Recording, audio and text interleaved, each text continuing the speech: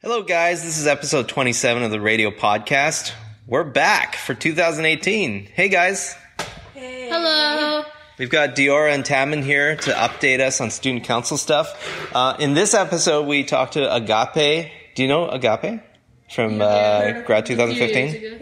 You remember? Yeah? Yeah. Well, he, he talks about his uh, life as a professional actor. He's been in Supernatural. Oh. He's been in oh Bletchley Circle, San Francisco. I don't know if you've you've probably seen some posters around, but he's in that. He's a regular in that as well. So, yeah, it, it's a good interview. Um, so, how are things going? They're going good. You know, we're getting a lot of events in, and we're hoping to do a lot more. Today, we're going to talk about the two that we have. So, we have Disney Day and Athletics Day. And okay, so for Disney Day, it's on the 14th of November. And um, there's going to be a trivia at lunch held by Mr. Turpin. There's going to be a donut sale for a dollar donut. And um, we're going to do wear your Disney wear, which is your. Which Like is your Mickey Mouse ears and yeah, stuff like that. Yeah, and like hoodies and Disney owns everything, so you pretty much wear any pop culture. Yeah, go for it. Marvel, uh, uh, Jim Henson, uh, what else? Pixar. Mm-hmm. Yeah. What else do they own? Star Wars. they do own Star Wars also. Yeah. But yeah, just wear anything Disney related, and, or, and if you don't have any of those many options, um, just wear red, white, and black, which are Mickey Mouse colors. Mickey Mouse. It's his 90th anniversary. Did It is his you know 90th that? anniversary. Yeah. that's why we're hosting it. Yeah. And the on the 22nd, which is a Thursday, we're going to have Athletics Day, which we will be hosting a handball game in the gym at lunch, teachers versus grade 12 students. Uh, you should come out and watch. That will be a great event. And at the same time, we want you guys to dress up in your jerseys, in your uh, any athletic wear. I know the athletics team uh, has new socks, W socks. Those are the greatest. Yeah. And so if you can dress up, come to school with your athletic gear, anything, any sports you play, any, you can even wear your Delview athletic gear, anything you want, just come to school and come watch the game at lunch in the big gym. Cool. So two big spirit days coming up. Excellent. That sounds like fun. Anything else? More things coming. just Be excited for the month of December. It's going to be jam packed. Oh, and yeah. Be jam packed for sure. Yeah. All right. Very good. Well, uh, listen to this episode. It's the first one of the year. We, we've taken so long because Mr. Turpin and I have been so busy with our new course, Innovation 10. But um, here we are, and we're, we're looking for more people to interview, so there'll be more good ones coming up. Thanks for, for you guys to come in and uh, talk about Student Council, and have a very good year. High five!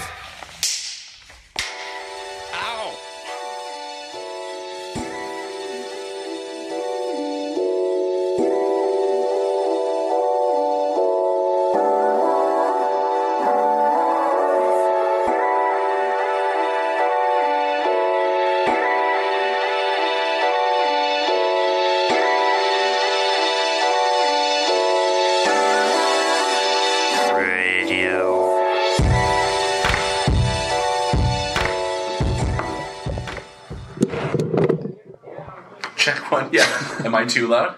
Check one, 2 You're, you're always too loud.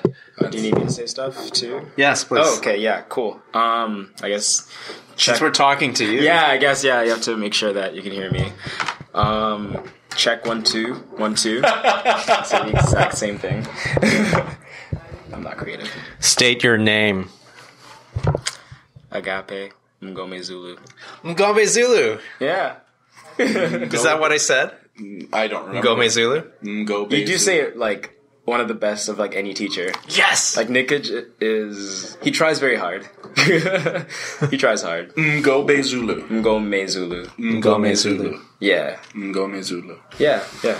It's kind of how it's spelled, too. Oh yeah, exactly. I think that M N G throws people off because then after that it's pretty simple. It's like M N. So, how does Nikich say it? Now I have to try saying my own name really badly.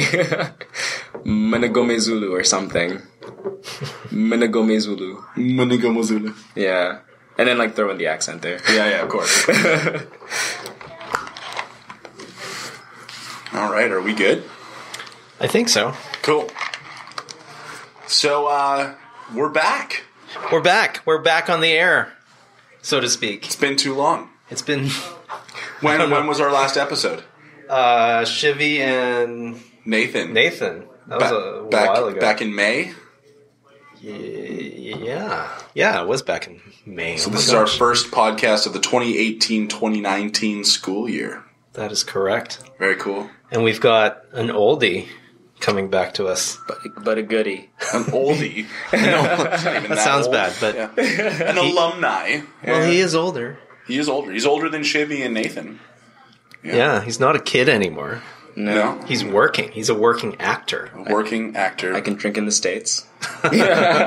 21 years old, so can drink in the States. Yeah. That is old. Guess that is old. Is that your exact age right now? Uh, yeah, I'm 21. I'm turning 22 in about a month and a half, two months. January. Where does the time go? I know. Time flies. January what? 17. Nice. Capricorn. I'm an Aquarius 28th. Oh, okay. Yeah. Oh, yeah, okay. I don't follow. No, I, mean, I know what I Yeah, am. that, that's it, right? Yeah, I'm a Taurus, but Mm-hmm. I guess I'm stubborn. yeah. You're a Well, Taurus. thank you. you were in that stuff. You're, you're, you're a pretty chill teacher. Well, thank you. I don't know about personal life, but. I'm stubborn. ah, okay. So, for our listeners who don't know, Agape, he graduated class of 2015. Yeah. Uh, upon, well, during his graduation year, he played Seymour in the school production of A Little Shop of Horrors, which I was not a part of because I wasn't here yet. Um, but I watched the DVD. You did. I did. It was terrific. It was a, well. It looked terrific. I can mm-hmm. tell you that much. Mm-hmm. Um, the sound quality on the DVD was poor, Yeah. so so I, I I can't make a judgment on how it mm-hmm. The sounded. sound quality in person was excellent. okay, It was pretty good. We Yeah. recently actually just watched the DVD. Did you? Yeah, uh, Cyril, Janelle, and I, and like, you know, a few other people. But like, yeah, we just sat down and watched the DVD and just laughed. yeah, yeah, yeah. That's what you do, right? yeah. What, so, what did you think? Like in in terms of uh, production, uh, production values, your own Oh. performance. Well, I mean, even looking at the set when it first arrived and when we were doing the production, it was just like mind blowing. I was like, wow, where where did we get the budget? Like, Yeah. and um, you know, doing it, and you know, I think we were, I think we were mic'd or something. I don't remember. Yeah, I think you were. Yeah, from we- what I heard. Yeah, Yeah, we must have been mic'd, and you know, there were speakers, and you know, You know, there were vines all over the stage for like I don't know a good year and a half after that. I think Really? we're still cleaning up vines. Really? no, yeah, we the I mean they went all out. I yeah, it just it just looked super cool in Yeah. person, and it sounded awesome. It really did. Yeah, everyone's singing and you know acting, and it was so good. And there was a motorcycle. There was a real motorcycle that That's Shivy cool. was on. Yeah. Yeah, that thing was massive. I went. Uh, me and my buddy, we went back and we watched our grade twelve musical.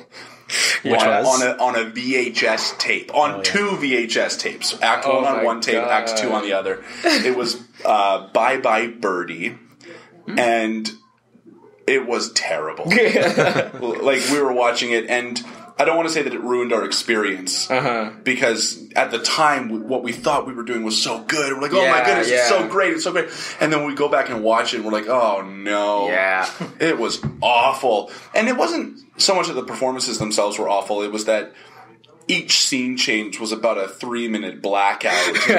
and you could, we actually had stage crew with power tools in our scene changes. Oh, no. The lights would go down, the orchestra would be playing the scene change music, and you'd hear this.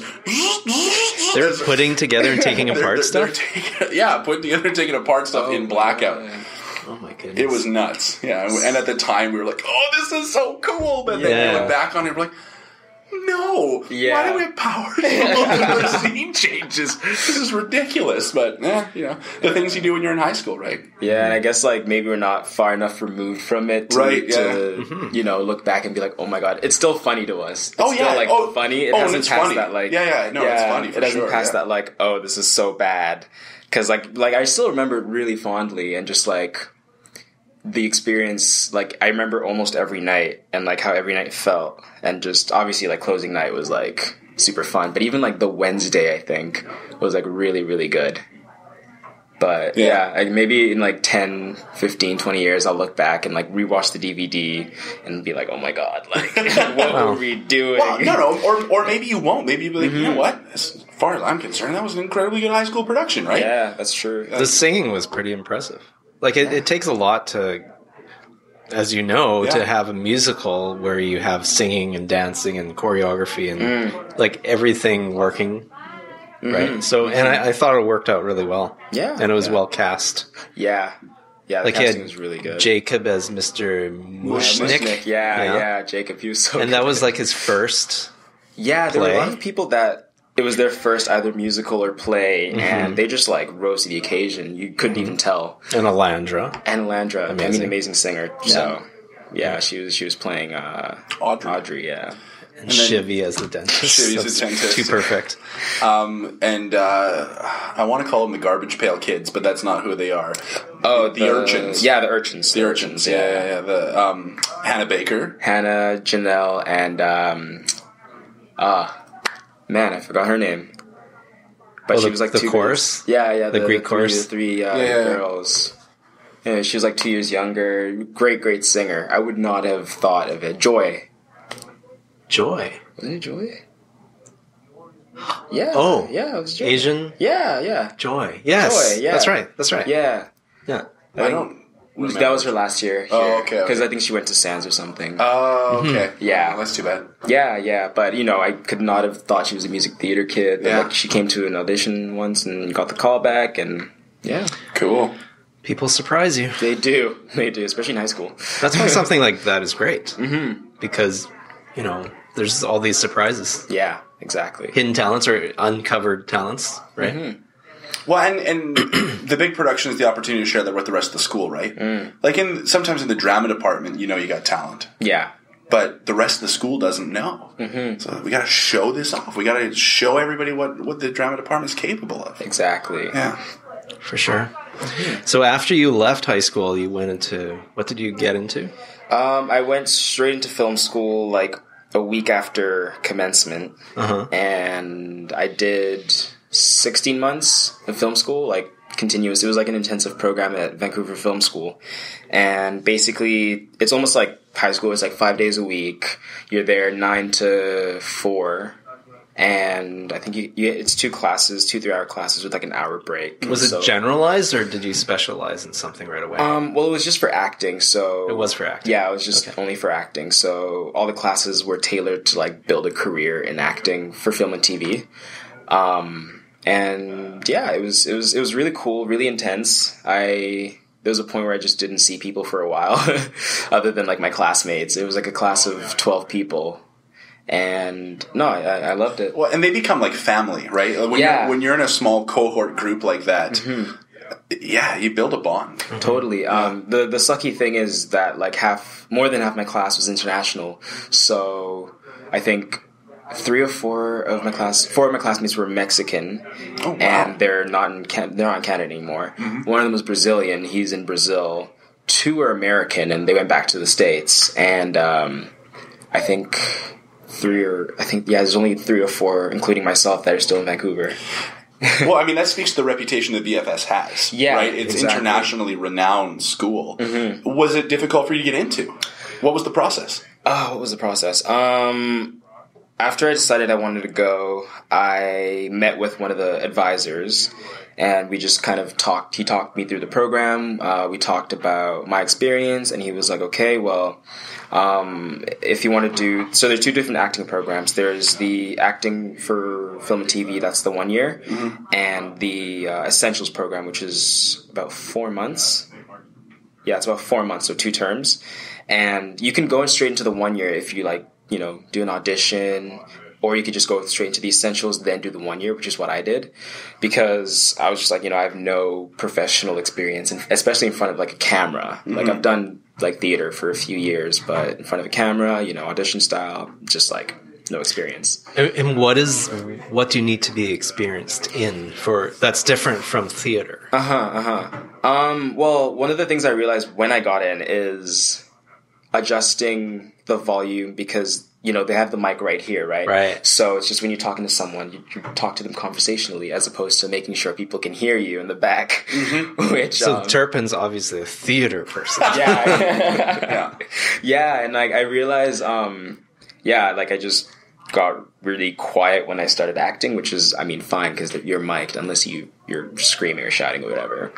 Um, and then another, another thing is just how your body um, show shows up on camera as opposed to in theater because again you are playing to the room in theater. So you know larger body you know actions so that people can see what you're doing. You know you're grabbing this people see it so you know they're not confused.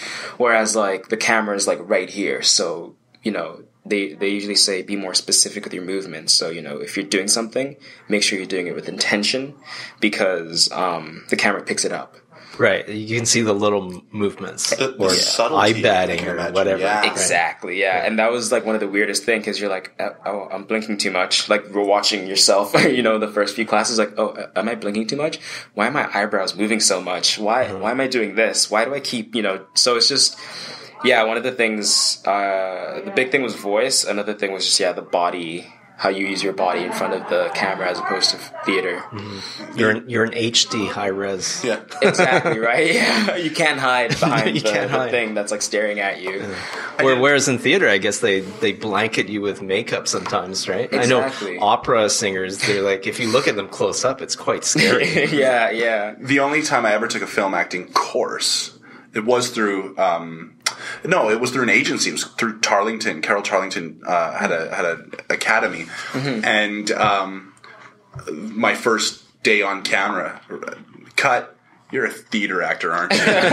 so I, I know, it, like it, it was all about toning everything down and, and making it more subtle, um, and and being so economical. Yeah. everything had to have a purpose. you don't have to work so hard in Yes. front of the camera, you know. Yeah. And I remember my camera co my camera instructor for the essentials program was like, "Yeah, I can tell you did theater, you know. Um, yeah, we're just gonna have to work on, you know, just you know, getting that energy down." And I'm still trying to like getting get my energy down, Mm-hmm. and that's just because I'm a light person. But um, yeah, it's it's it's just the real subtleties in front of the camera that you have to adjust to, which I knew, you know, mm-hmm. going into it, which is why I was like, yeah, like I'll audition, like, but I don't think you know I should just do the whole thing. Mm-hmm. Because another thing too is I wanted the as much experience going into the world as I could mm-hmm. in the shortest amount of time, which is why I did an intensive. But yeah, it worked out. So, so after that, I mean, did you start taking jobs right away? Like, have you always worked? Or Um, so the way uh, when you graduate, they kind of another reason why I wanted to go to VFS was when you graduate, they kind of leave you with a package that you can like submit to agents. So you you leave with uh, headshots, with a demo, even a voice demo, and uh, there's this thing called casting workbook. It's basically like I don't know, like LinkedIn for actors and agents to commu- uh, actors, agents, and casting directors to like communicate. I guess or Facebook. I don't know. It's like a way. so it's like a website. Yeah, it's a website where like you have your profile and like you know agents can you know stumble across it Mm-hmm. or um, casting directors if they're looking for something agents can use that to submit you. Right. So you leave with like and it's like a yearly subscription thing. So the school leaves you with like a year of that. And so the what VFS does is with their graduating class for about two months, they kind of like throw their graduating class to agents and be like, hey, these are the new actors in the world. You know, if you like any of them, meet them, whatever. So they did that when my class graduated. And about three or four days after graduation, I got an email from an agent saying, Hey, I really liked your profile. I liked your demo. I'd like to meet with you this week. Um, yeah, let me know. And then, you know, I met with her. I really, really liked her. And one of the things I loved about her was she was just like, Hey, uh, you know, you don't have to sign with me now. I really enjoyed it. You know, take your time, see other people. Cause it's kind of like dating, you know, you, it is. Yeah. You just You don't want kinda- somebody overly aggressive. yeah, exactly. And, And you know, yeah, and you kind of have to like see other people before you pick someone. So uh, I, I did get a couple more emails with the different agencies in town, but you know, I, the first one just stuck with me. So I emailed her back and I was like, you know what, I really like your vibe. Right. I like, I'd love to work with you. And I've been at the same agency since. And uh, about a week later, I think I booked my first job with her. It was a non-speaking on uh, a show called Lucifer, which used to film here. I think it's canceled now, but um, yeah, it was like a non-speaking role. I was like, oh, this is great, like just to be on set and gain this experience. Mm-hmm. Um, and then a, about a month after that, I got another job, but I didn't get to shoot it because the job was for a bartender and I was couldn't do it. Yeah, I was like 19 and I looked 16 or 15. so then like I, I get on set. I don't even know why they hired me, but I arrive on set. I'm like, okay, okay, first speaking role. I got two days on I like it was on iZombie, and I was like, okay, I got two days. Oh my god, this is exciting. Um, and then I arrive on set. We do like a rehearsal, and then they're like, okay, like final touches, do whatever, and then like uh, the, the the hair and makeup person comes up and is like, "Hey, uh, we're just gonna come and see if we can like throw some facial hair on you," and I was like. Okay, cool, whatever, or you know, like stubble or whatever. So you know, they tried doing stuff on me, and then the director's like, "Hey, man, um, sorry, but I don't think like we can use you because we need someone who looks 21 because it's set in the states, right? Mm-hmm. And you just look too young." And I was like, "You know what? I get it. It's all good." And then yeah. So what happens in that situation? Mm. Um, that's I've never been in a situation like that. Yeah, it's, so it's do you? That's their mistake. Do you still get paid? Um, I got paid for the day because I was booked for two days, yeah. and acting is contract work, yeah. right? So they signed me on a contract, and basically it's daily rates and since it's an American production, it's daily rate plus a buyout, mm-hmm. which is 105% or something of the, the rate. So for the day I actually arrived and showed up, they paid me the full, and then the next day they just paid me the rate as like they didn't buy me out because yeah, because you weren't shot. Yeah, exactly. Yeah.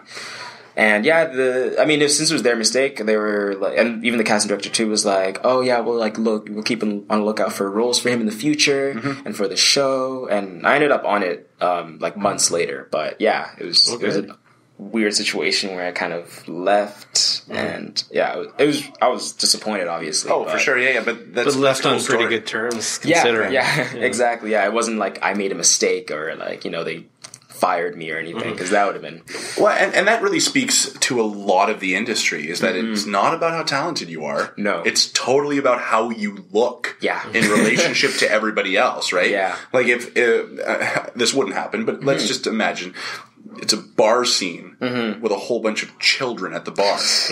you, yeah. you probably could have stayed because yeah. in relationship to the children, you would have appeared much older, right? Exactly. But a person with a bunch of children. you know what I mean, though. You know what I mean, right? It's all, it's all relationships, right? Uh-huh. Um, so it's it's not just about how you look, even though mm-hmm. how you look does count. It's mm-hmm. how you look next to that person, next totally. to that person, mm-hmm. and uh, so much of of the industry is subjective, and people can mm-hmm. get so down on themselves. Oh, it's just mm-hmm. not working out, and you go for a long stretch with nothing. But it, mm-hmm. it doesn't mean you're a bad actor. Not at all. No. And one of the things I'm really happy that I left uh, film school with was knowing that like not booking something doesn't mean I'm bad. It just means I. A lot of it is like wrong place, wrong time. You have That's to be fit. exactly. Yeah. You know, like like I looked it, for for that uh, audition as an example. Like maybe what I did was you know good enough. They liked what I did, but then like when it got in real life, because it was a scene with uh, two of the leads too, so they're obviously proper adults and. um you know, like a kid serving them just looks weird, right? Mm-hmm. Like, and the other bartender was an older gentleman, right? And so I was like a junior bartender, but it still wouldn't pass. I guess when they're casting, they already kind of have they visualize what you should be looking like. Yeah, yeah, because it's a uh, unlike theater, you know, film and TV is a lot more of a visual medium. Mm-hmm. Because it matters so much what you look like. Sometimes they'll hire someone who isn't as good for the part just because they look the part. Mm-hmm uh, yeah, sometimes it's just not about talent at all. And sometimes, you know, they'll find someone who is super talented and isn't right for the role and they'll fit them in somewhere. It, it can go either way. Mm-hmm. So it, it, it sometimes doesn't serve yourself just being down on like certain experiences like that or like not booking a role or not working for a while because those things do happen. Well, and at least in, uh, the theater world in Vancouver, I should say, mm. not New York, but you do go through a casting director 1st mm-hmm. right? It, typically in theater, even in professional theater in Vancouver, when you go into an audition, you're auditioning for the director of the play. Yeah, yeah. Right? Whereas in film and television, or if you're on Broadway, you'll go through a casting director, and then you get to the director, and the director gets the final say. Yo, oh, right? Yeah. So the casting director casts you and says, "Yeah, I think you're right for the part," and then the director get you later and be like, mm, "No." Or it could even um, one thing I, I just really want to sit down with like a casting director and mm-hmm. a director and just ask how casting works because you can even have the director like you because mm-hmm. I recently auditioned for something and um, I went through the first audition with the casting director, and she liked me. And I met with the director and like one of the producers, and they really liked me. And then I did a chemistry read with the, uh, the other actors, and then it went. I think it went up to um, the production company, whereas like the or the network. Um, so if it's Fox or ABC or whatever, mm-hmm. everyone can like you up until them, and then they could be like no like they have the final say because they have the money, right? And then at the end of the day, they're trying to make money. They don't care. They care about the show, but like they're trying to make money. So the director can love you, and like you know the producers for the show can love you, but then it's like the network producers can be like, no, we want this person because I guess that's why a lot of creative people like um, streaming services like Netflix a mm. lot because apparently they, they give a lot of creative freedom to the yeah, creators. Right? Yeah, and yeah, I mean, I think that's a lot of the reason why a lot of Netflix shows are blowing up and are uh-huh. really good because a lot of the creators get to do what they want to do. Mm-hmm. Like I look at a lot of shows and I'm like, wow, the casting this is amazing. Like you don't see casting like this on like mm-hmm. Fox or I think even HBO is kind of like that, mm-hmm. where it's just like they get a lot of freedom because yeah, I mean, because the network execs are thinking about money. Exactly, exactly, and they have so much power with this like thought about making money, and then you know a show can have like two seasons and just get canceled because they were just thinking about money, not the longevity. Mm-hmm. Whereas like a lot of these like Game of Thrones and um, uh, can't think of a Netflix show right now, but yeah, a lot of these shows that give a lot of creative freedom think about the long term because it's it's their project, it's their baby, right? Mm-hmm. And right. they want to see it um, like flourish as opposed to like just making as much money as it while this thing is hot and then like ditching it. Well, and then the flip side of that coin is that typically a lot of those HBO shows or Netflix shows they're pitched with a shelf life. Mm-hmm. Boardwalk Empire, right? Mm-hmm. We're going to go for five seasons, and yeah. then we're going to end it. And um, CBS right now has The Big Bang Theory, oh which is in its twelfth season, and it kind of stopped being funny after eight. Oh yeah, it's it's so stale. The, yeah, the show can get really stale. Yeah, and just you know. But that's that's CBS thinking it's still making money. Exactly. So we'll keep rolling it. But and spin-offs like Young Sheldon too, just like, and just keeping the show right. going. Yeah, and just yeah. milking it for all it's worth. Oh yeah. despite the fact that what you're creating is garbage. Mm-hmm. Your mm-hmm. diehard fans are going to watch it no matter what. Your mm-hmm. non-diehard fans are going to be curious and will tune in. Yeah, right. Know, and I'll watch it on the plane just because sure. I'll be falling asleep in and out. But I'm yeah. not going to like sit down and be like, "This is something I need to catch" because I want to know what the characters are doing every week. You know, yeah. young Sheldon.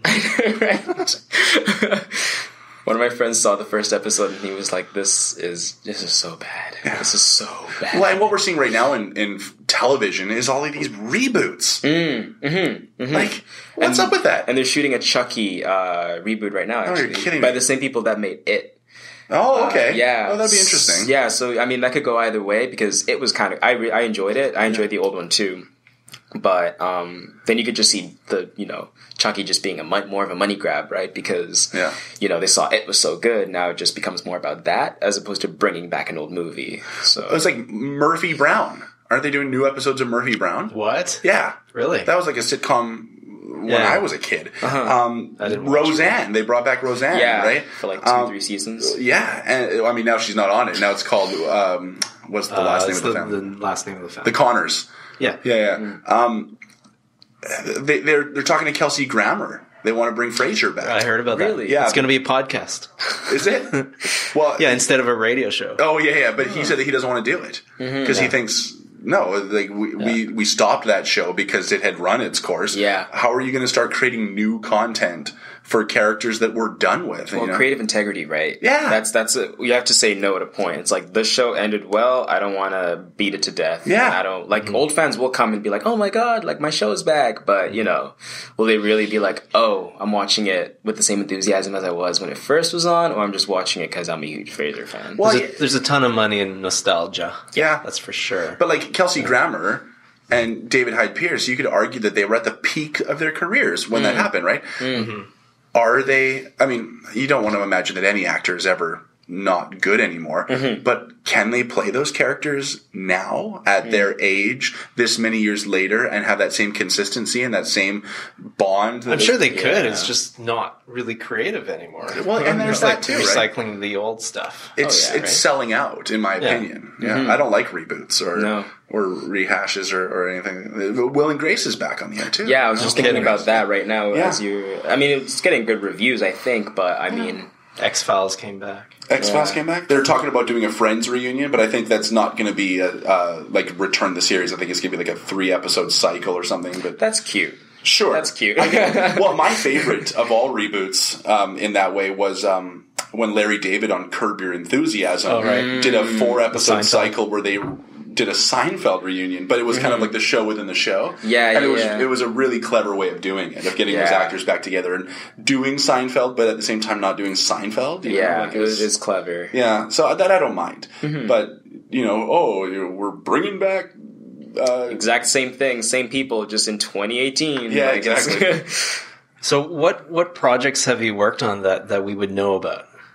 um, this year I did uh, a day on Supernatural on their, I think, 12th to 13th season finale. I don't Was know. what that a on. speaking role? It was, yeah. I played Oh, wow. like uh, a guy working at a convenience store, and um, I don't really watch the show, but one of the, I mean, it's got 13 seasons. Like, I, You were working at a convenience store. yeah, I was working at a convenience store, and like, or a gas station thing, and like one of the guys, um, I guess has like powers, and like he gets me in like this chokehold and like force pushes me to like the Oh, fridge, cool.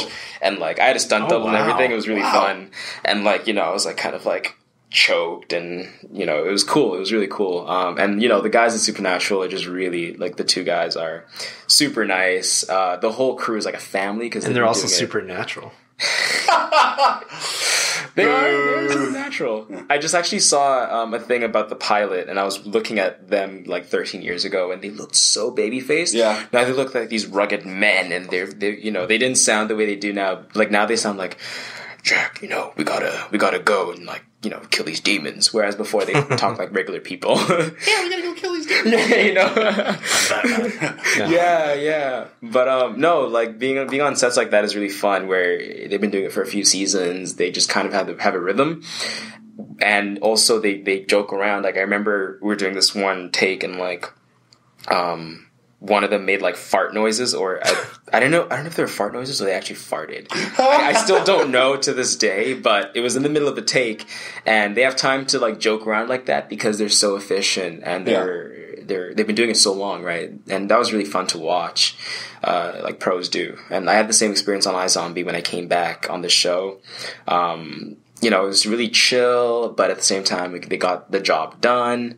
And uh, you'll find that a lot of these like lead the leads for these shows are super nice. They're super super nice, and like they're very approachable, and they're Professional. super yeah mm-hmm. super professional, and like have fun too, right? Like you mm-hmm. can they're not the typical like oh don't talk to them you know you're only on the show for like an episode so you know they they need their space type thing it's just Although I'm sure there are those. there are no totally i think It's that's just a personality thing. Exactly, and I mean, I haven't come across any like that, uh, which is fortunate. Yeah. Because I mean, the first thing I want to do on set is like learn as much as I can, and like it's hard to learn when you know you can't communicate with the people that have been doing it for you know de- uh, decades, and you know have been lead actors for so long. So I wonder if that's kind of the nature of the business in Vancouver, right? Because a lot of the mm. actors aren't from here, mm, mm-hmm, the leads, mm-hmm. right? And if you're cool enough in your personal and professional life to be like, yeah, I'll travel for the job. Yeah. It's probably in your personality to be super like outgoing and, and welcoming and open to everything. I don't know David Duchovny. okay, I don't. But one of the things that he desperately wanted was for X Files to not be filmed in Vancouver anymore. Oh. And the last couple of seasons were filmed in LA because he had the star power to be like, no, not going to Vancouver anymore. Mm-hmm. Yeah. And and if you have that kind of attitude and that kind of star power Mm-hmm. that you can move the entire production to your convenience, that sounds more like the type of person who'd be like, don't talk to me. Yeah, Right. yeah. I'm not going. You come to me. Yeah, Yeah, exactly. exactly. Yeah. and well, the thing is, like a lot of these uh, LA, you know, American lead actors have families back home too, right? Oh, for sure. So that makes And, sense. Yeah, so I mean, I can see why they'd want to move it back home, but at the Mm-hmm. same time, like the ones that stay here and shoot for about nine months continuously in the rain.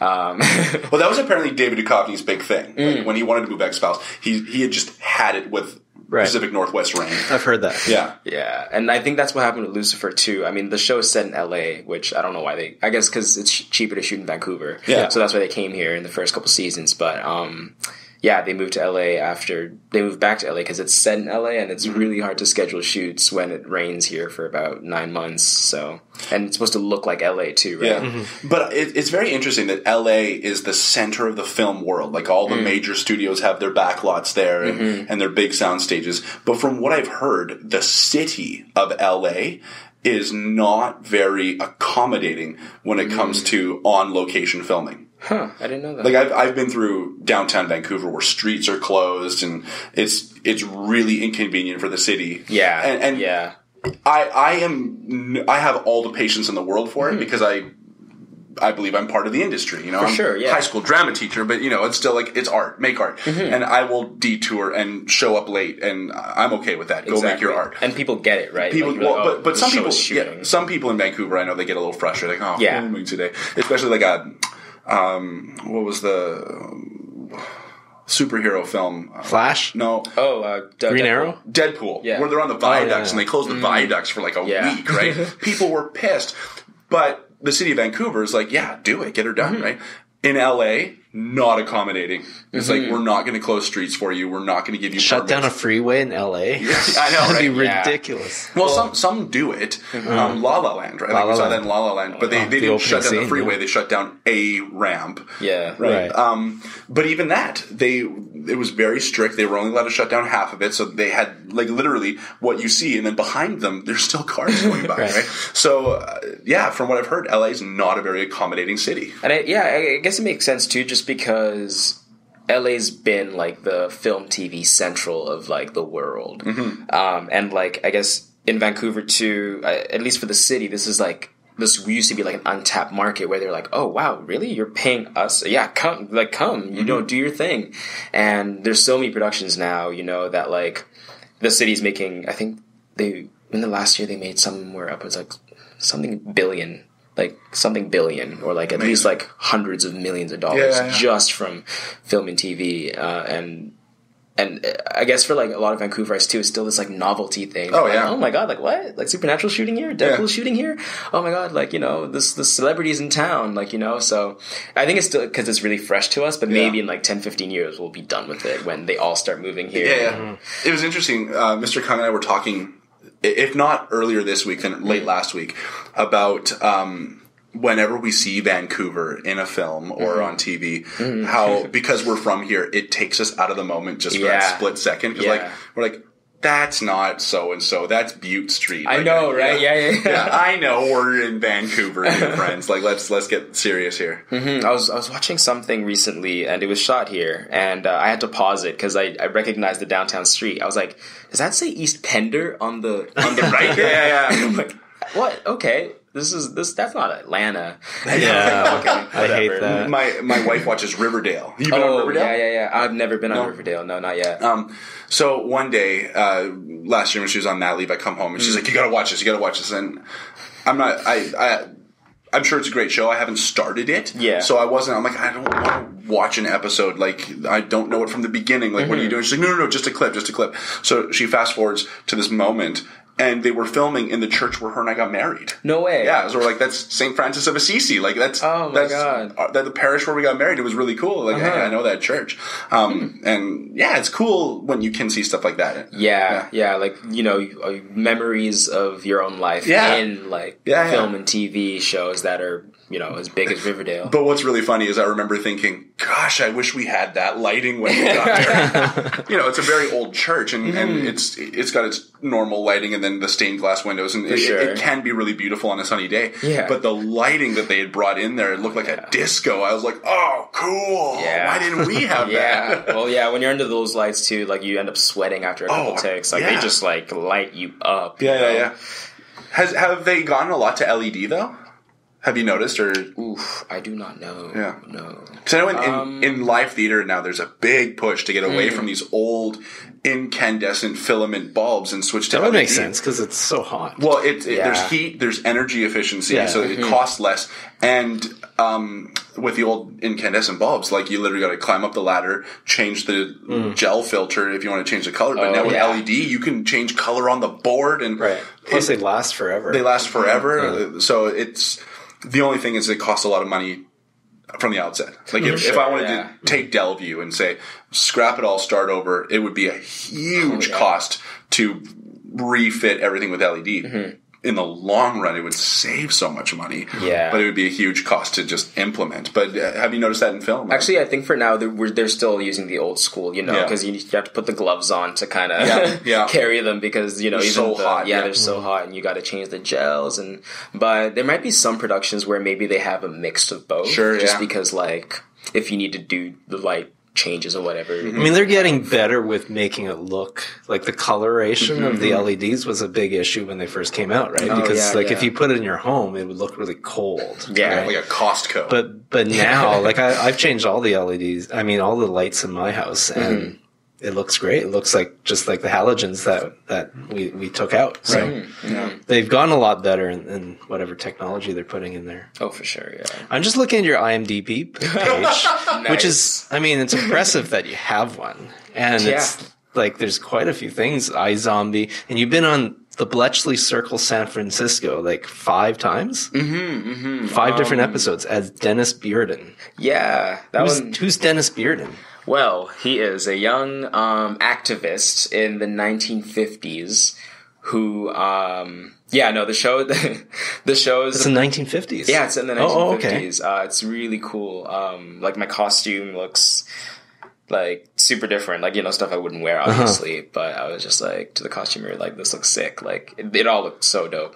Um, but Are you like a code breaker? no, I'm not. My mom is. Your my mom's mom a is one code of the main code breakers, and um, my role in it, you know, as her son, and uh, my dad goes has gone off to the war. I think it was like I don't know, whatever war was happening in the 1950s. Korean? Korean War. Yeah, yeah, one. Yeah, I think it was that one, and then you know, or off to some base or something, and um, so she's a not a single mom, but like she's you know, my dad's off to. He's in the first four episodes, but then like you know, he gets shipped off somewhere, and uh, I have a little sister in it, um, and throughout the show, it uh, it shows you know.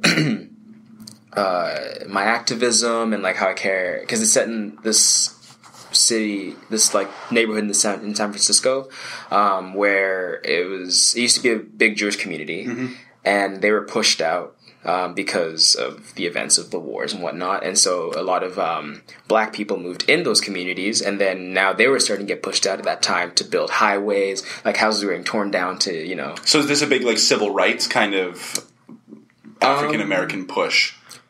Well, that that was what was going on in the neighborhood, and Yeah, like yeah, yeah. I felt, you know, I was trying to change it. You know, you know, picketing outside the mayor's office, yeah. Uh, those kind of things. There's scenes of that, and um, and my mom was for the cause, but she she had fought so long, and she was just like, her thing was like, yeah, you know, like I, you know, I just want to keep my family safe, Mm-hmm. and whatever. And then you know, we butt heads a couple times because I'm like, why aren't you fighting anymore? You used to be such a fighter. And then I, you know, there's a scene where I have an argument with my dad because he wants us to move away. And I'm like, no, that's what everyone's doing. If we don't, if everyone moves, then like our community is nothing, you know? And it's, it's, it's really cool. I really love my Way to go. Yeah. Yeah. And then eventually So- get a white girlfriend. I see your mom right here. Um, yeah. Two Yeah, yeah. female British code breakers team with American cryptographers to solve a series of murders in San Francisco. What, what network carries this one?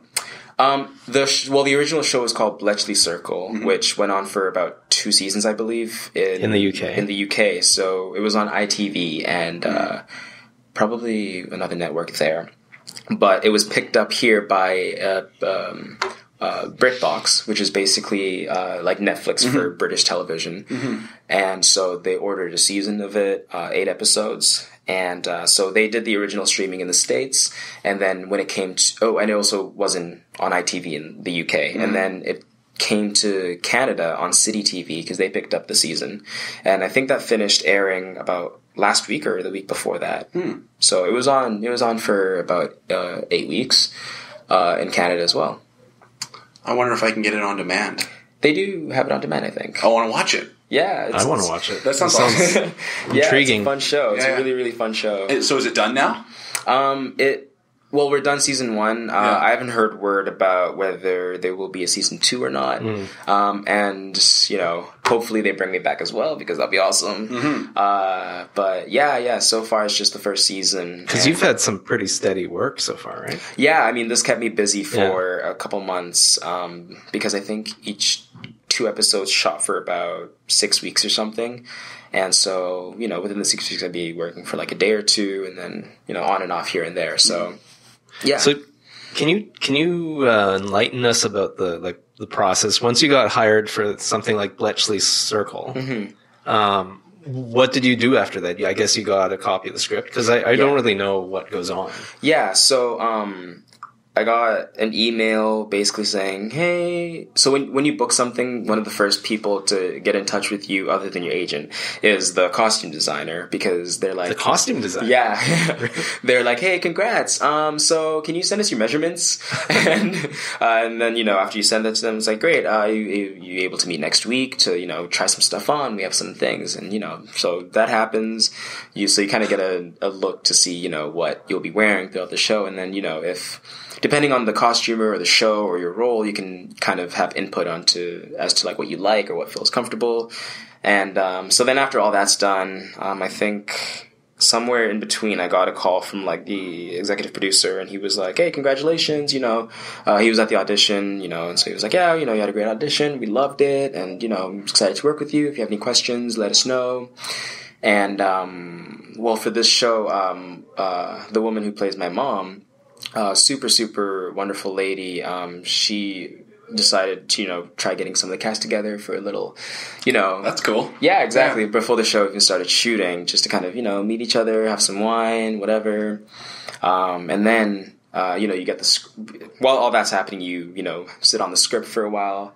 Uh, depending on the show, um, this one I think it, it shot in blocks of two episodes, so they gave us the first two episodes, the, those scripts, and um, through film and TV, there are, there's so many revisions. Like they'll be revising probably up until like the day you shoot. So there'll be like a blue script, a green script, a red script, uh and then I think the the final the final script's called like Goldenrod or something. And like Oh, okay. that's you know and yeah they they have so many revisions. So like. Um, you can get the original script like two weeks before, and like okay, okay, learn your lines, and then like you get another script like two days later, and then Do they give you the full script or just your uh, part? the full episode. Oh, wow. Yeah, so it's really cool. You got to get to see the thread of the whole episode and Mm-hmm. yeah, see where you tie in to the whole show. Question: Mm-hmm. the, all those revisions and stuff. Do you get to keep those, or do you have to give them back? Oh, you keep them. I mean, if, if they send you an email, right, Yeah, with a PDF of the script, like you know, you, that's yours. Because what would be neat to do would be to sit down with all versions of one episode mm-hmm. and see how the writers changed it uh-huh. over their revision process. I mean, just as a mm-hmm, mm-hmm. as a literary analysis. That would be really cool to see. It's like, oh, well, this character did this, and then they cut that scene, and now it's this, and eh, that'd be Oh neat. yeah, I mean, even from the audition to the first script I got, um, I remember I don't remember exactly what it was, but there was a, you know I, obviously I, I still remember the audition and what I did in the room, and then I got the script and I'm like, oh, this is different than like what I did in the audition. Like maybe like a line is different, like a word is different. Yeah, yeah. And so you yeah, have to sign like a non-disclosure or I mean, it's For- it's not Star Wars. No, yeah. Well, I mean, for But- some you do, right? I mean, Yeah. for some, even when you get the audition, you have to sign an NDA because um, they might either give you the script or like you have a slight idea about what's going on in the in the movie or the the show. So they're like, yeah, we don't want anyone knowing what's happening, Mm-hmm. even for that one scene or those two scenes, right? Have you ever gone into an audition not knowing what you were auditioning for? Um, maybe, probably, probably. A, a buddy of mine, an actor friend, Mm-hmm. went in for an audition, and then he was told it's a superhero movie. Mm. In the scene that you're going to read, you are the not in superhero. You're your person, your secret identity or whatever. right, So he did the scene. Didn't get the didn't get the call. right. Two years later, he and I go see uh, the Andrew Garfield Spider Man, Oh, Oh no my gosh. and, way! and he's like. I auditioned for this. he's like, I know these lines. It's like, well, I see why I didn't get it now. They gave it to Andrew Garfield. Oh, yeah. Mm-hmm, like, okay, well, fair enough, right? but it, it was funny that his agent sent him, and he didn't know. Like he was told superhero movie, and Mm-hmm. but and and you didn't need to know Peter Parker in order to do the scene. Like we Sure. just want to see you read the scene. And he's like, holy smokes, that's, I had no idea I was auditioning for Spider Man. Yeah, you know, it totally happens. And, um, well, Vancouver is also like a small enough city where like word gets around. Yeah. Like, you know, they have code names for things. Yeah. So it's like, oh, they're shooting this thing called this random word they use. Like, you know, it could be bacon fat, but it's actually like the next. Yeah, you see those signs around. Oh Yeah, yeah, yeah, Yeah. exactly, yeah. And you know, unless you either really know like what the different like acronyms mean, you don't know what's shooting unless you ask like someone who's on location, and they might give you like the code name. Um, but usually, agents in the city are pretty good at that. They'll like say, "Hey, you have an audition. Um, it's it's you know rumored to be this." Like I remember when. Um, um, Trouble at Bad Times at El Royale was filming here, or whatever it was called, um, and uh, Hemsworth was here, Thor, yeah. and uh, yeah, and uh, Is that Liam? Chris. Chris. Chris, Chris, Chris. Hemsworth was in town, yeah, and um, they, I got an audition for that, and like, um, my my agent was just like, yeah, I think this is the title, but like, this is what they're working with. This is the working title. Yeah. So yeah, like things like you get that in Vancouver a lot, but I bet in LA there's so many like, oh, you know, we don't know what this is. This is this. These are the sides, you know. And I've had auditions where for the audition I have to sign an NDA too. So Yeah. you know, it, it's some things they really do keep hush hush. Yeah. So Okay. you get you get the script. You get the script, now You learn the script, Yeah, and then I guess you have a read through. Yeah, Is that the well, yeah, thing? for that one, especially since um, episode one of a brand new show, um, we had a read through in you know a room like this, uh, long table, bunch of chairs, bunch of people I. Well, some people I knew, but some people I didn't know, right? And so, you know, you just kind of like, hey, what's up? Uh, oh, oh, you're oh, okay. You're this person. Everyone oh, gets a you- name. Yeah, yeah, There's like a little name thing, and you know, you got a script right in front of you. So you know, you just chat for a bit, and everyone introduces themselves. Hi, I'm Agape. I'm playing Dennis, and uh, you know, then you read the the episodes or whatever you have in front of you, and then yeah, director says some stuff. You know. Um, uh, pulls you aside if you need to. Like, yeah, okay, I, I liked what you did in the read. You know, when we get on on set, you know, do this, this, that. Um, and yeah, I'd like to, I'd like to see a bit more of this, or you know, you just have a discussion, a creative discussion, which is really cool to have before you actually start shooting, because a lot of times, you know, you just you have your audition and then. You know, you could be shooting a week later and you just arrive on set and you're like, oh, okay, I made these choices. I hope they work. I hope they like them or whatever, right? And then you kind of work through it while you're shooting. Whereas in this case, you kind of have that discussion. You get to sit on it for a few days or however long. So yeah, anyways, you get the read through, and then I, I think the next thing was just yeah, showing up on set and doing the thing. You get a trailer. Yeah, yeah. For most, if not all, film TV, no matter how big or small your role, you do get a trailer. Nice. Yeah, commercial you don't. I I've never booked a commercial, but I was on something that was kind of a commercial, and I was like, oh, no trailer. That's- like I, it was not in like a oh like oh I didn't get a trailer way, but I was like oh this is so weird. Like this is so interesting. Yeah. He's been a little bit spoiled. yeah, I know. Yeah, exactly. Yeah, I'm like, okay, cool, cool. This is nice, but yeah, you, for most film and TV, you do get a trailer, and depend depending on the role and like the uh, how much money the show has. You know, I guess the purpose of the trailer is for you to have your like. I guess there's some lag time where you're waiting for setup or, Oh, yeah. or whatever, right? yeah, totally. So, like, how much lag time are, are we talking about? Um, it depends on the production. It depends on how far um, circus mm-hmm. is from set. So when you arrive on set, like you you get to circus, which is basically where they have all the trailers. Sometimes where you can, you know, if you drove, you you have your parking there. Sometimes it'll be where cra- uh, the food services Craft is. services yeah. exactly yeah. yeah. So you know that there's sometimes there's a separate area for that, and then like you know you get kind of shuttled to set and so it depends how far those two are away from each other. I've had it where it's like a like a twelve minute drive from circus to set, so you only see your your trailer um, when you arrive, lunch, and when you leave. And I've had it where it's literally a walk away. So when they're setting up for a new thing, I can be like, "Hey, I'm just gonna go to my trailer," you know, because you have to let them know where you are. I'm like, "Yeah, I'm just gonna be my trailer. Let me know if you need me." They're like, "All right, cool," and then you know they just communicate that. So um, it depends um, based on where it is, but usually you arrive about at least like an hour, hour and a half before you actually need to be on set. Because uh, if you arrive early in the morning, usually they have breakfast. So you arrive in your clothes. You can show up in sweats or whatever because they have costume. Mm. Um, so you arrive, you know, you get breakfast, and then you get hair and makeup, and then you get in your costume, and then you just wait till they're ready for you.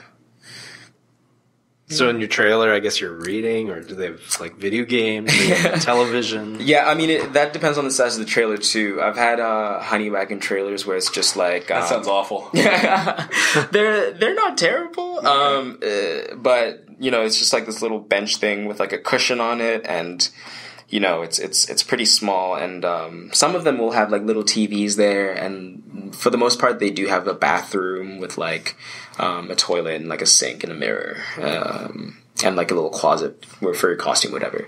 And then I've had it where um, I get like a decently sized trailer, which I was like, oh, this is this is pretty nice. Where like they have like a flat screen TV and like a fridge and a microwave and um sh- like one yeah one time I had like a shower in there. Wow. yeah, like a like I could have lived in there. Like it was mm-hmm. bigger than one of my apartments. You know, I was just like I was like, oh wow, this is really nice. Kind of don't want to leave. but um yeah, I mean you just make yourself comfortable. If you're going to be there for a number of days, usually they try getting you a better trailer mm-hmm. because mm-hmm. you're going to have to be comfortable there. Yeah, yeah. So if you know you're going to be there for a while, you could either bring. I usually Sometimes you like stay overnight there. No, no, no, you don't. Okay. No, no. Um, but yeah, sometimes I just bring like my laptop or uh, I make sure to bring all my chargers because yeah. even when you're not in your trailer and like you know they cut and they're switching, you're just sitting. You know, in the green room, you have your phone with you, right? Mm-hmm. If you want to be on your phone. So yeah, bring your all your chargers, earphones if you need them, um, and yeah, whatever whatever you feel like. Books are good. Um, I've never brought my PlayStation in a trailer yet. Yet. Yet. Yeah, but now they got these little classic consoles. You could throw that in your bag, right? Yeah, like a Switch, you know, like Nintendo Switch. You, you can just switch do that. It. Yeah. Yeah. So yeah, they, depending on the production value of the show or movie and like how big your role is. The but they've never provided video games for you. no, here's no. your trailer. I've never made a Xbox. special request. Right? yeah, a, a rider in my contract. I need to have an Xbox in my trailer. Yeah, and I mean some people can have that in their contracts, but you hmm. kind of have to have that pull. Yeah, know? I only like blue water M&Ms. bottle with lime. yeah. Yeah. yeah. yeah, exactly. So. Factory sealed Dasani bottles with lime. oh, Dasani, no, no way. Fiji water. Oh yeah, only, yeah. only, yeah. Oh, going for the artisan water. yeah. Water's water. Yeah, exactly. You'd be surprised. but yeah, I mean, like my agents sometimes ask me, like, "Oh, do you, you know, when we're you know negotiating contracts, like, hmm. do you have any requests?" I'm like, "No, I'm just, I just, I'm, I'm glad I'm on. I just, want to work. Yeah. I know, yeah. Like, like, uh, are they going to pay me? Yeah, yeah, they're going to pay you. Yeah, no, great. Yeah, we're, we're whatever. Yeah. yeah. and sometimes, you know, like, oh, you know, unfortunately, you only get honey wagon, and I'm like, no, that's great. Like, that's awesome. Like, you know, like, I'm excited. Honey wagon is is a historical term for outhouse. Oh, really? Yeah, like in, in particular, we, we, were talking about it in our uh, in our innovation ten yes, class. Mm. That in in the old mine shafts, the honey wagon was like this rail car porta potty that it'd be an entry level miner's job yeah. to wheel the honey wagon around and make sure that everybody had their morning poop. Oh my so, God. So when you hear when I hear honey wagon, I'm imagining like an outhouse. Uh, it's obviously got a toilet in it. Well, so. yeah, exactly. It does have a toilet. I think for those size trailers, that might be the main purpose. So you just have somewhere to go. Uh-huh. So Yeah. maybe that's a fitting name. Yeah, for fitting it. name. Yeah, yeah, yeah. That's that's what I think when I hear honey wagon. I'm like, ooh, that doesn't sound good. That doesn't. So how long are shoots? Oh, like per day? Yeah. Or, oh lord. Um. Yeah. Because we're talking like a full day. It's a, it's a work day, so like Yeah, eight work hour. Ooh, minimum. Like you're lucky if you're there for eight hours. Yeah. Um. Just because. Uh. You have. I mean, oh, it's usually longer. it's usually way longer. Um, so usually, I, I find for myself the actor's job being the easiest. It is very difficult, but when you look at the other jobs, there are so many people that arrive there way before you and leave way after you, and then have The to crew. show up. Yeah, the crew, um, Director, director, yeah. the PAs, they work so hard, and like location managers and whatever, right? Um, so usually uh, on the day you work, you get a call sheet with um, everyone's times, you know, uh, hair and makeup times. They really like get it down like to a T, and it's the first assistant director's job to make sure the director's on schedule, and uh, you know everyone has these little jobs. Um, so you know, say if my call time's like eight a.m um, there've probably been people have been there for two hours before me, and um, so you know you arrive there eight a.m. do your thing, and if I'm there for a full day, I might arrive on set like actually to start acting at maybe like 10 a.m. maybe like if if everything's going smoothly nine, um, and then lunch will probably be around like two p.m. And then there's late like lunch. Yeah, you know, give eight. Oh no, yeah, from eight, I guess it would be around like one o'clock, and then you have like a hot lunch, which is I guess like a second meal because yeah, there are people that have been there for so long, Yeah. right? And you don't have time to go grab a bite. You never leave um, unless you're wrapped. So if for a full full day, it can be about twelve hours. Um, for a longer day, it can be fourteen. But there'll be crew that are working like sixteen hours, like a day. Now, when Mr. Kung said you, you don't spend the night there, obviously you No, don't. no, but yeah. have you ever had an overnight shoot? Um, when I did background, I did overnight shoots. Um, I, it was this show I forgot what it was called. It was when I was still in high school, and they were shooting from like I think like five to like five p.m. to like three a.m. And so like three a.m. like that's when people were wrapped. So there's very few occasions where they provide like provide accommodation, and that's usually just for like the actors Yeah. um, what I for the thing I did most recently, um, falling for you, uh, we're shooting in Squamish. That's the Hallmark one. That's the Hallmark one, yeah. Um, we're shooting in Squamish for a few weeks, or maybe like a month. No, no, a few weeks.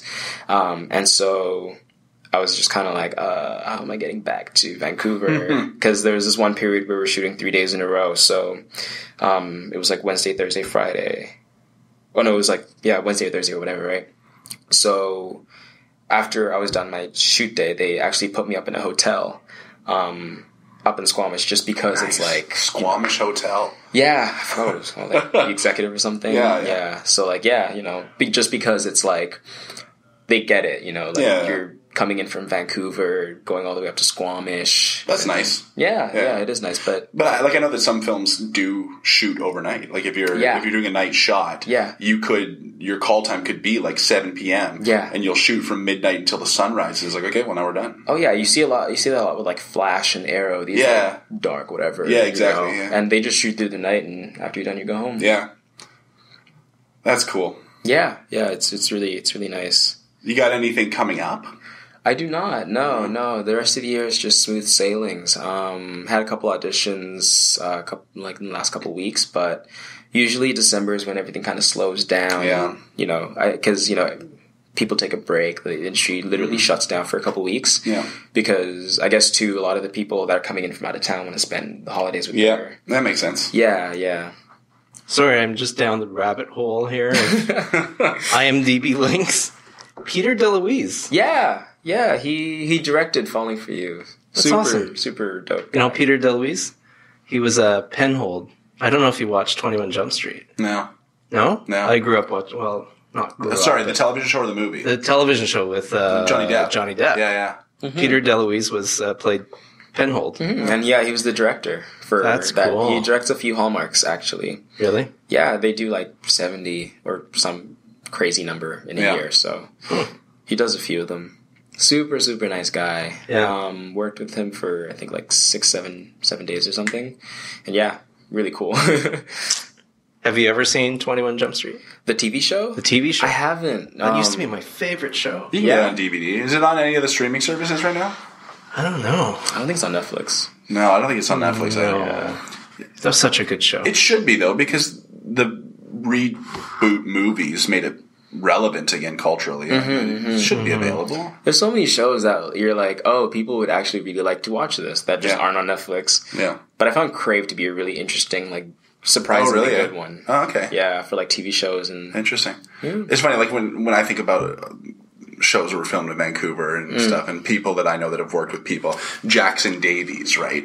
Um, He's a very famous Vancouver actor, and he worked with one of my Beachcombers. Beachcombers was a big one. Um, Bill Murdoch, one of my acting teachers up at uh, up at CAP, Danger Bay. Right. You know, like shows like that. You can't watch Beachcombers or Danger Bay anymore. Like, where do you where do you find episodes of that? Yeah, one of those like backwards like streaming websites Yeah, where like right. you click play, there's like ten ads that pop up. Yeah, exactly right. Yeah. Maybe you can get it at the library. I know one of my one of my relatives found Littlest Hobo at at the Littlest li- Hobo? The Littlest Hobo. Yeah. about the dog. That's a that's a great Canadian Yeah. television show. Yeah. Hmm, dog that solves crime. You ever Yeah. heard of Littlest Hobo? Like the name sounds familiar, but I've never seen it. I mean, what a terrible name. Littlest Hobo, right? But it was about this it was a German Shepherd, if I'm not mistaken.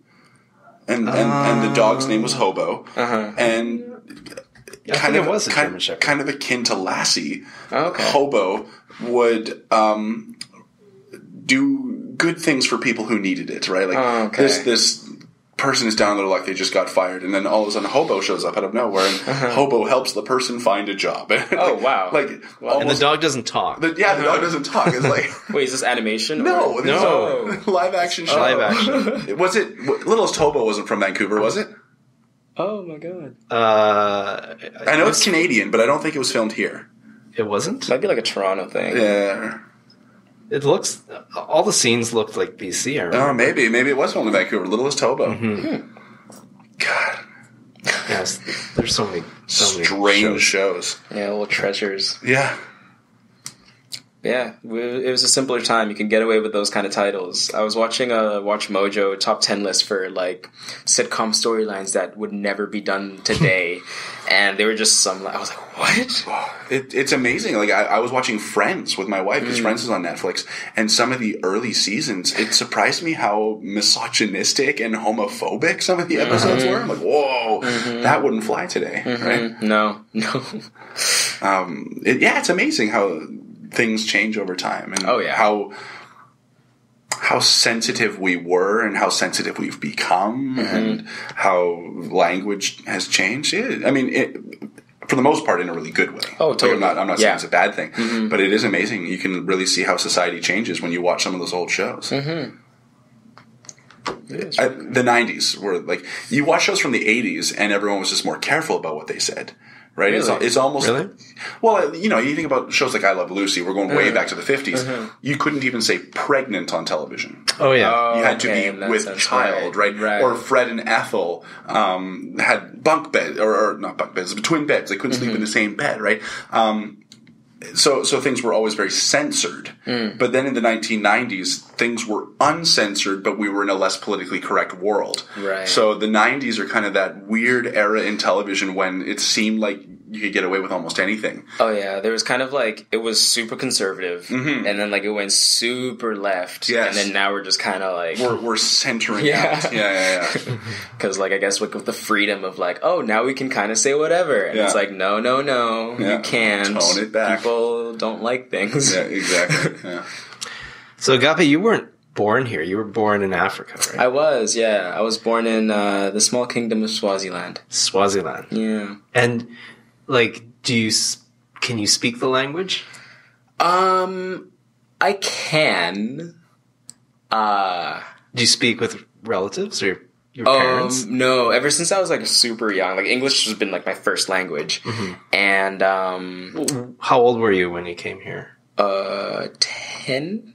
Hmm. Well, what's 10. what's the day? It's like the sixth, right? I came here like November thirtieth of like two thousand and seven. So like, Oh. yeah, almost like eleven years now. So I was about ten. Yeah. Cool. Yeah. And um, yeah, ever since I was like a kid, like my family spoke English and Siswati, and like I can understand. Siswati? Yeah, Siswati, and I can understand it pretty, probably less fluently than like when I lived there, but I can still understand it pretty well. And my family does speak it today, um, but I always responded in English still, like then too. It's interesting. Uh, there's a psychological phenomenon known as non-phonating fluency, Hmm. where a person can understand a language but they can't speak it back. It's like my wife.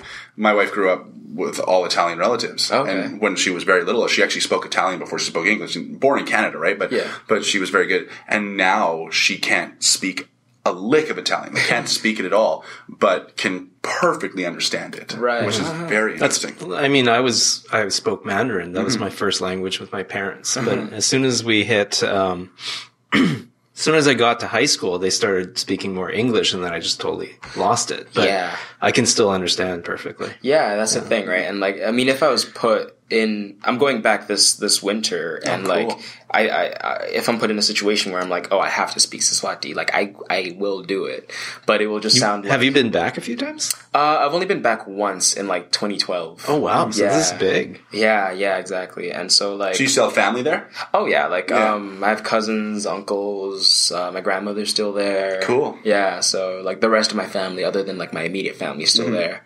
Um, so Well, if you don't mind me asking, Yeah. what, what prompted the move? Like, what, Um, what brought you to Canada? I think like I was I was ten, so like I wasn't part of the you know decision process. course, I just yeah. kind of like came along, but I think it was just to come to a better place, Mm-hmm. a different place. Um, you know, different things going on. Uh, Swaziland's a weird place just because it is a kingdom, Mm-hmm. and unlike the British uh, monarchy, it's uh, the king in Swaziland has absolute power. So literally, like, I mean, I'm sure he can't, but like, he, it almost seems like he can, like, say, like, he wants something and it happens, right? Whereas, like, the queen, you know, basically has no power. Um, he has all the power. So there's just a lot of different, like, um, problems that come with that. Um, I'm not even fully aware of what they are because I, I was a kid, right? Um, I'm sure I'll, like, have my wi- eyes wide open when I'm there and be like, it's still like that now. Oh yeah, it's still it's still a full kingdom. Um, same king, Same um, king. Yeah, and it's yeah, it stays within the family. He's got like, think he's stopped now, but like he's got like thirteen wives. You know, Thirteen wives. like, Holy or at least when I left, he had like twelve or something, and I heard he got like maybe a couple more, but I think he's stopped now. he's like in his fifties or like late forties, so Wow. he's got to slow down. Wow. But yeah, he got and then he's got kids in the states and you know Europe. Like he's he's rich. Like he's got Oh, yeah. all this money, you know. But um, What does Swaziland have that um, could make him rich? Yeah. What Like what? are What, what is Swaziland or- like? Yeah. um, exports. I think we have we have a lot of sugar cane, Mm-hmm. and um, like that was a big thing. Like everywhere, it's Mm-hmm. just like you could just eat, you could just get sugar cane anywhere. Um, I'm not, you know, I'm not hundred percent sure. Hmm. Um, and I think he has a lot of money too, just because um, a lot of uh, loaning from like other countries, you know, Mm-hmm. borrowing and just spending it however he wants. So, um, yeah, just like corrupt things like that, you know, Mm-hmm. like getting money from other countries and then them, I guess, like getting something out of the country and then him just using that to, I think he bought like a private jet or something. So, like, Of course, he's the king. yeah, of course, right? You've got to at least, If I was a king, I'd have a private jet. right? Oh, for sure. You got to live the life, you Yeah. know. You got to do the thing. If I was a king, I wouldn't settle for the honey wagon. yeah. you talk to your people and Yeah. make sure you know Yeah. you're not you're not, not having You the have to honey act wagon. like a king. Yeah, exactly. Yeah, but you know, and, But is, I mean, is it safe there? Is it like oh yeah, it's it's it's pretty, organized? Do does transit work or like what is it like there? It works. like living there? There's definitely like a system and a way of life that like um I mean I I think I remember ever since I was like in grade two I took like the transit to go to school and like my mom would drop me off at the at the place and like from you know, it was one time I fell asleep on the bus. That was a bad day because I like the country's so small. You could like drive to the other end, and I ended up like somewhere like ridiculous. I don't even remember where it was. I don't know how I got home, but I ended up home. Wow, I'm, I'm, my geography is so poor Hmm. with the African continent. What borders Swaziland? oh, Like what? fun! I'm wearing a There hoodie go. with the You've got a map on your hoodie. Africa, yeah. So it's right here actually. So Oh, okay. It's kind South. It's the South African area. Yeah, You- And you're actually surrounded by South Africa. yeah, except Yeah. for this like uh, northeast, Mm-hmm. um, where it's Mozambique. Gotcha. Yeah, so we're landlocked. Yeah. Um, and yeah, just a lot of South Africa and a little bit of Mozambique. Mm-hmm. We were playing this uh, game during parent teacher interviews. It was a geography game. Yeah. And so you, I forget what it's called. What's it called? Oh, it was just on a website called jetpunk.com. Yeah, so you go there and you, you have to type in every country you can think of, and Uh-huh. it, and it like Times basically lights up the map Oh, okay. with the ones that you get Uh-huh. perfectly spelled and everything. And we did a lot of the continents, Europe and North America, of course, and Mm-hmm. other places. But then we we noticed that Africa was like nearly blank. I was like, Uh-huh. oh, countries in Africa, we knew a few, like Uganda and Yeah, yeah. whatnot, South Kenya. Africa. yeah, yeah. Yeah.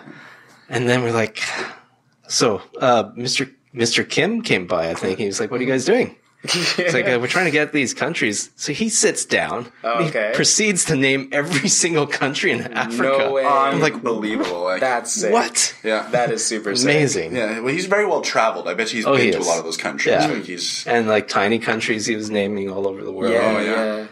all Island the islands in the. Caribbean that we didn't. Yeah. yeah. wow, that's Yeah. awesome. Yeah. Yeah. Yeah, no, there there's some little ones like the one I'm from. Um, I think we have a population of plus minus like a million. Wow. You know, and uh, I mean I don't know the square kilometers or whatever. I can't tell you how big it is, like Yeah, literally, but. But like population size, that sounds almost like the population of Vancouver almost. yeah, I mean, like I think it's about the size of like maybe Vancouver Island or maybe like more or less if you like morph the island Yeah, to yeah, yeah. look like it, it might um, turn out to be the same size. And it's pretty well developed. Um, eh, ish, not really. It's still a developing country. Um, but it's very, it's got it's got its own like rhythm and lifestyle. Like it's it's very it's very. What, what's the capital city? um Mbabane? Mbabane. Yeah, Mbabane, which is where I was born. Um, They're like high rises and stuff. Oh, I couldn't tell you. Um. Yeah, maybe. Yeah, uh, maybe when I go back, I'll like know more. I, there Yeah. are like taller buildings, and you know, Yeah. especially yeah, I guess in the capital city and uh, uh, one of the bigger cities, uh, Manzini. It's like it's like it's a, it's a it's a pretty booming city. Now, how how protected is the king? Like, do people meet the king, or is that like Um, a, a thing that happens, or is he like super well guarded and nobody talks to the king? I think he's decently well guarded. I mean, I could. Uh, there's this like kind of place where you know he is. Yeah. Kind of, I guess, like Buckingham. Yeah, yeah. Where it's just like, yeah, you know, that's the where the where the king, king lives, is. So the name of Swaziland is actually Eswatini? Yeah, Eswatini. Um, That's that's the new name. The new name. The new old name. So before, Oh, they went back. yeah, before the British colonizers came, it was Eswatini, which basically means like the place of like Swazi or whatever. Mm-hmm. So then, like when the English came, they were like, "Oh, Swaziland," so the land of Swazi. yeah. And then now the king last this year or some point was just like, "I'm changing the name because I back, can." yeah. yeah, to Eswatini, which is cool, I guess. But like now, and I guess like when you see Swaziland, the first thing you think is Switzerland, Yes. or like you know one of those things, right? So it kind of sets it apart in a way. Yeah, no, that's cool. Yeah. Like Burma is now Myanmar. right? Is it? Oh yeah, countries change their names. Wow. Myanmar. Well, it's beautiful. Is it? no, it's it's a very nice place. Um, very uh, agricultural, and um, I remember near the village where my grandmother lived, they were just like animals, like uh, almost everywhere. Like obviously controlled, but like you know, there'd be a dude like walking like a herd of cows at a certain time, and yeah, just super simple, and it's it's it's really nice. I That's like cool. that. That'd be a good trip. It is, yeah. I'm super excited. So when do you go? Uh, I leave uh, in about a month, like December sixth. And Yeah. Long trip? Uh, no, I come back. It's about three, three and a half weeks. That's not bad. Yeah, come back end of end of December. Yeah, if you're flying halfway across the world, you might as well spend a few weeks. Oh, I know, right? Yeah, yeah. Um, and it's their summer, so Oh. I know. Yeah, because like literally southern hemisphere, Yeah. so it's it's their summer, so that's gonna be super. That's gonna be nice. Yeah. That's gonna be nice. How hot does it get? Do you know? Um, the summers can get at least when I was there. I remember getting to like low 30s, like 33, 34. Yeah, I think I think it can even reach like 38 if it's like really bad. I could I could go for that right. now. Yeah, yeah, Right now, but when you're there, you're like, ah, yeah. Gosh, I That- wish I that's wasn't the here. typical Vancouver at- uh, attitude, right? Yeah. You're Isn't always complaining about the weather. It's too hot. It's too rainy. It's too Yeah. cold. Yeah, and I think if I remember correctly, I don't think that the heat there is humid or as humid. Yeah. So it's it's really it's a dry nicer- heat. Yeah, it's I, I prefer it. I think just because Mm-hmm. when you're indoors, you're not like sweating. You're, Oh, I love dry heat. Mm-hmm. Yeah, it doesn't doesn't feel as hot. Like it's it's nice. It's nice. Yeah. Mm-hmm. yeah, it's not thirty. Feels like fifty two. It's Yeah. like thirty. It's thirty. If there's Yeah. a breeze, the breeze will feel nice. Yeah.